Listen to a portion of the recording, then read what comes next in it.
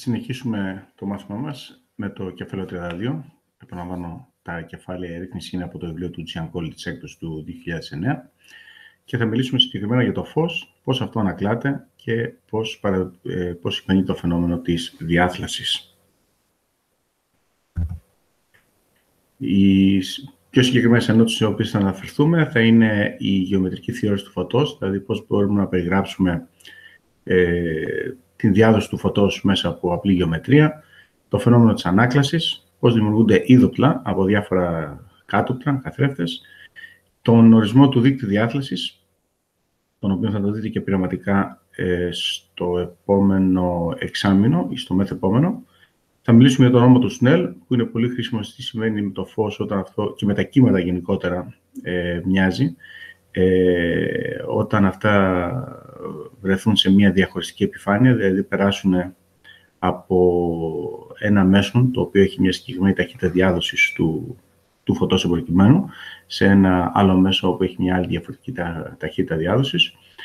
Ε, το ορατό φάσμα, ορατό με την έννοια ότι βλέπει το ανθρώπινο μάτι, το φαινόμενο της διασποράς, ε, κάτω από ποιες συνθήκες μπορούμε να έχουμε ολική εσωτερική ανάκλαση όταν ε, βρεθούμε σε μια διαχωριστική επιφάνεια, ε, Πολύ σύντομα απλώς θα περιγράψουμε τι είναι οι οπτικές σύνες και θα μιλήσουμε για τη διάθεση της σφαίρες πάλι ε, επιγραμματικά από σφαιρικές επιφάνειες.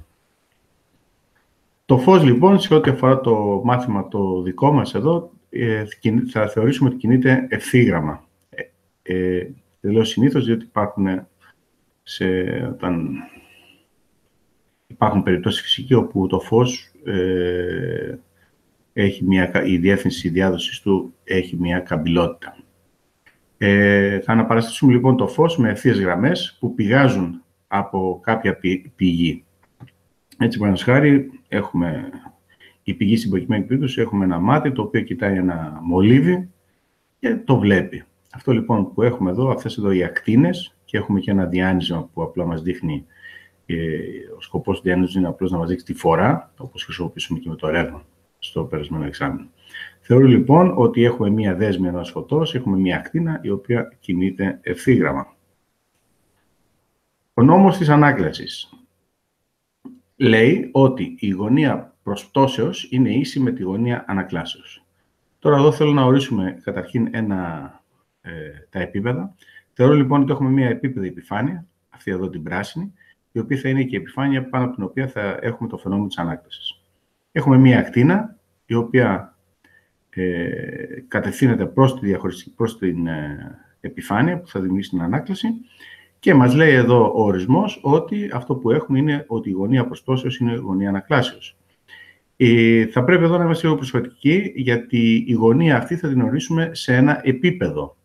Και το επίπεδο αυτό θα είναι το επίπεδο προσπτώσεως. Πώς ορίζεται αυτό το επίπεδο, από την ε, γεωμετρία γνωρίζουμε ότι υπάρχουν διάφορα τρόποι να ορίσουμε ένα επίπεδο. Τρία σημεία ορίζουν ένα επίπεδο, αλλά στην ε, συγκεκριμένη περίπτωση αυτό μας εξυπηρετεί είναι να χρησιμοποιήσουμε δύο ευθείες οι οποίες τέμνονται.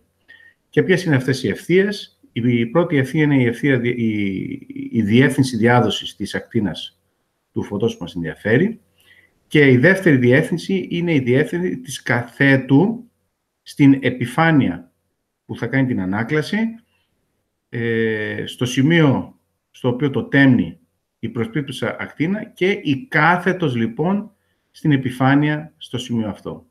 Έτσι λοιπόν το επίπεδο το οποίο ορίζει η, η προσπίπτουσα ακτινοβολία με την κάθετο στο σημείο αυτό, αυτό το επίπεδο που ορίζουν αυτές οι δύο οι, οι διευθύνσεις θα ονομάζεται το ε, επίπεδο ε, Στα αγγλικά θα το ονομάσουμε αυτό το ε, in plane. Υπάρχει και το επίπεδο το οποίο οποιοδήποτε άλλο επίπεδο, να το θεωρήσω έτσι, είναι το λεγόμενο out of plane.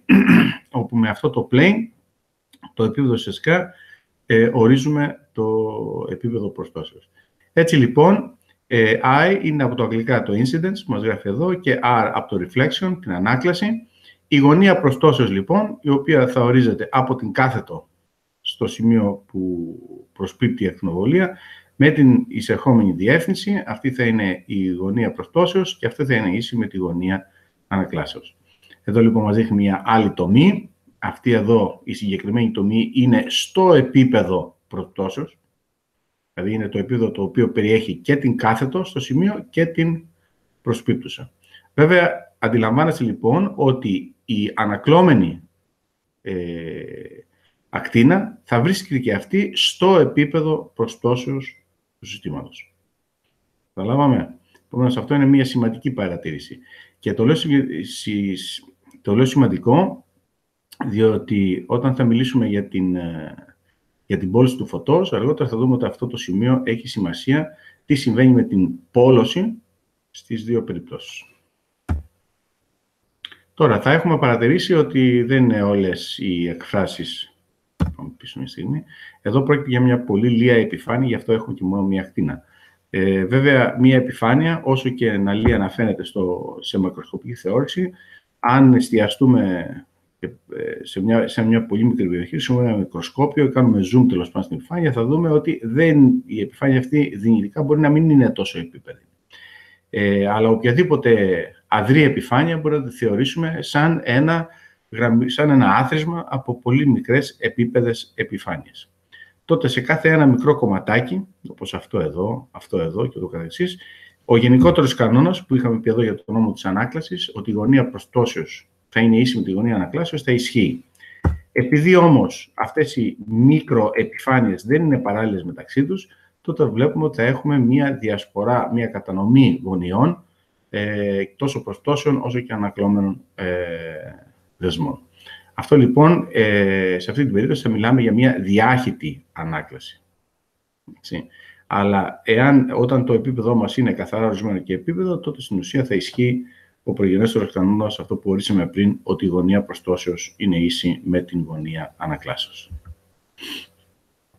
Με τη διάχυτη ανάκλαση βλέπουμε το ανακλώμενο φως σχεδόν σε όλες τις γωνίες. Και το καταλαβαίνουμε γιατί. Εντάξει, το εδώ το έχουμε αυτό, αυτή την αδρότητα την έχουμε κάνει μια περιοδική δομή.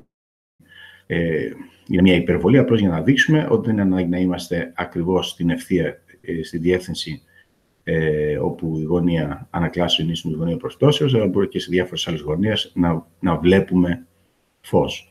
Όταν όμως έχουμε μια πολύ επίπεδη, μια τέλεια επίπεδη επιφάνεια, τζάμι, λαϊκιστή, τότε βλέπουμε ότι προκειμένου να δούμε την ακτινοβολία θα πρέπει να είμαστε σε συγκεκριμένη διεύθυνση όπου να ισχύει η συνθήκη γωνία προστώσεως ίσο γωνία ανακλάσεως. Για να δούμε ένα παράδειγμα. Έχουμε δύο καθρέφτες, οι οποίοι είναι κάθετοι μεταξύ τους. Η γωνία ε, προστώσεως μιας δέσμης είναι 15 μοίρες ως προς το οριζόντιο επίπεδο. Θέλει να βρούμε ποια θα είναι η γωνία ανακλάσεως. Αυτό που θα κάνουμε είναι θα εφαρμόσουμε τον κανόνα για, το, για την ανάκλαση ε, διαδοχικά. Ξεκινάμε λοιπόν τι θα συμβεί στο πρώτο καθρεφτάκι. Στο σημείο που προσκούμε φτιάχνουμε την κάθετο και η γωνία θ2 θα είναι η ανακλώμενη γωνία. Θα είναι ίσο με της θ1. Η θ1 πόσο είναι που είναι η γωνία ε, προστώσεως είναι 90 μοίρες μείον τις 15 μοίρες που ορίζουμε το επίπεδο. Επομένως, η γωνία, η θ1 θα είναι ίσο με 75 μοίρες και κατά συνέπεια και η θ2 θα είναι ίσον με 75 μοίρες.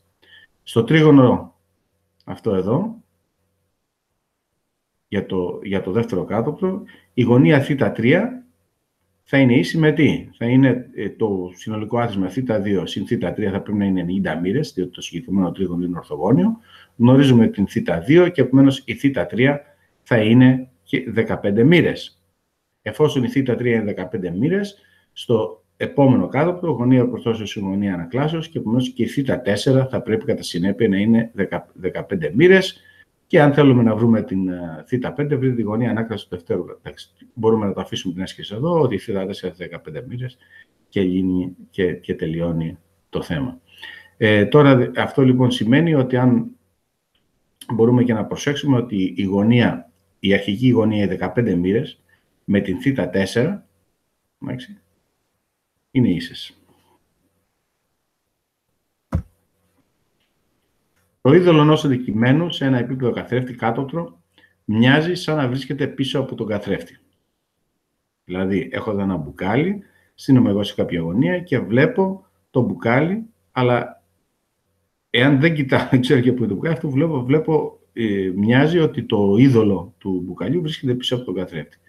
Όταν λοιπόν το είδωλο αυτό ονομάζεται εικονικό και βρίσκεται σε απόσταση ίση με την απόσταση του πραγματικού αντικειμένου του καθρέφτη. Τώρα, τι σημαίνει εικονικό ε, αντικείμενο, ότι δεν υπάρχει στην πραγματικότητα.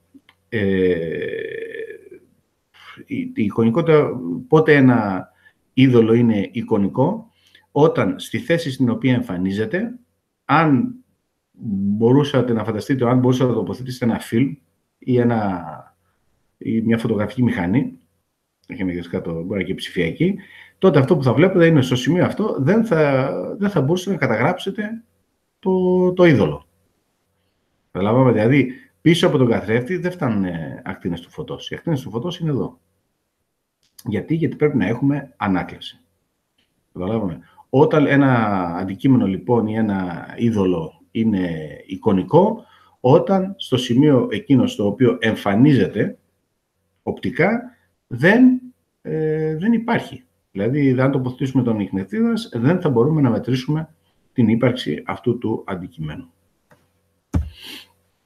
Για να δούμε, ε, εδώ μας ζητάει ένα παράδειγμα. Έχουμε μια φοιτήτρια, έχει ύψος 1 ε, και 60, σχεδιάζει εδώ και η ερώτηση είναι, ε, έχει έναν καθρέφτη, δεν είναι ολόσωμος καθρέφτης, έχει ένα συγκεκριμένο ε, μήκος, ε, ποιο θα είναι το ελάχιστο ύψος του καθρέφτη και πόσο ψηλά θα πρέπει να βρίσκεται, ε, ούτως ώστε η φοιτήτρια όταν βρίσκεται σε μια συγκεκριμένη απόσταση ε, από το καθρέφτη να μπορεί να βλέπει ολόκληρο την εαυτό της. Μας λέει ότι το, το συνολικό ύψος είναι ένα 60 και ότι τα